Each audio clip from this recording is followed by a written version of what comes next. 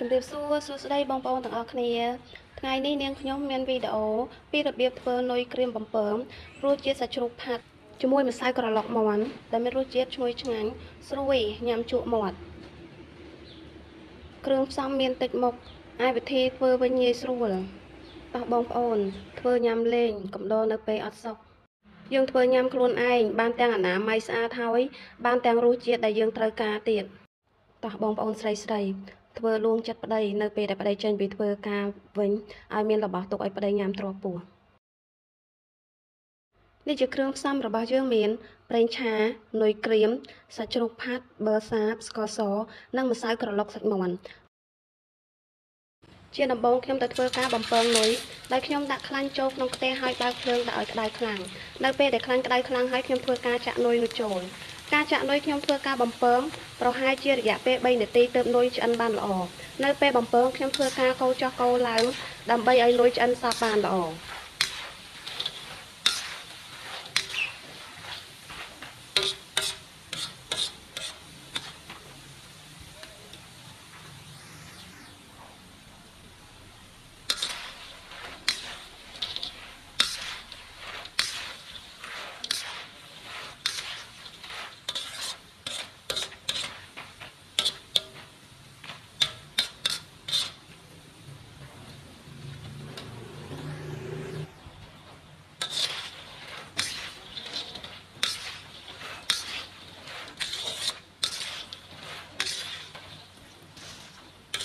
ឥឡូវនុយដែលខ្ញុំបានបំពងអស់រយៈពេលប្រហែលជា3នាទីហ្នឹងគឺវាបានឆ្អិនល្អហើយអញ្ចឹងខ្ញុំធ្វើការស្រង់នុយ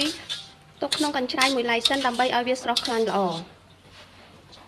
នុយដែលខ្ញុំបានស្រង់ហ្នឹងឥឡូវគឺបានស្រស់ខ្លាញ់បានល្អហើយអញ្ចឹងខ្ញុំធ្វើការដាក់ខ្ទះបើកភ្លើងនិងចាក់ប៊ឺហើយនឹងស្ករចូលនៅពេលដែលចាក់ប៊ឺហើយនឹងស្ករចូលហើយខ្ញុំធ្វើការកូរប៊ឺហើយនឹងស្ករនឹងឲ្យវារលាយសព្វចូលគ្នាបានល្អ ឥឡូវស្ករហើយនឹងប៊ឺដែលខ្ញុំបានកូរហ្នឹងគឺវារលាយចូលគ្នាល្អហើយអញ្ចឹងខ្ញុំធ្វើការចាក់នុយដែលយើងទុកឲ្យស្រស់ខ្លាញ់ហ្នឹងចូលហើយខ្ញុំធ្វើការកូរប្រហែលជា1នាទីខ្ញុំដាក់សាច់ជ្រូកផាត់ចូលនៅពេលដែលខ្ញុំដាក់សាច់ជ្រូកផាត់ចូលហើយខ្ញុំធ្វើការកូរនុយជាមួយនឹងសាច់ជ្រូកផាត់ហ្នឹងចូលឲ្យសព្វគ្នាបានល្អ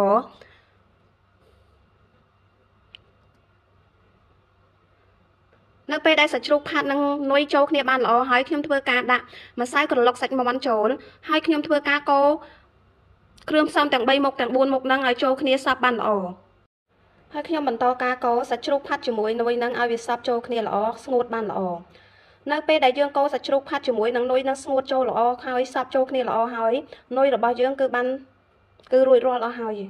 នុយបំពងរសជាតិសាច់ជ្រូកផាត់ជាមួយនឹងម្សៅក្រឡុកសាច់មាន់របស់នាងខ្ញុំគឺរួចរាល់អស់ហើយបងប្អូនមើលទៅទំនើងណាស់ស្រួយឆ្ងាញ់ញ៉ាំជក់មាត់ បងប្អូនអាចធ្វើវិធីនេះញ៉ាំបាន គ្រឿងផ្សំតិចមុខវិធីធ្វើងាយងាយយើងធ្វើទុកញ៉ាំនៅពេលដែលយើងទំនេរនៅពេលដែលយើងអត់សុខ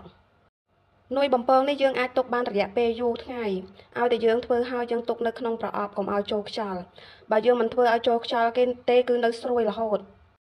សូមអរគុណបងប្អូនដែលចូលទស្សនាវីដេអូពីរបៀបធ្វើនុយបំពងរសជាតិសាច់ជ្រូកផាត់របស់នាងខ្ញុំតាំងពីដើមវីដេអូរហូតដល់ចុងវីដេអូ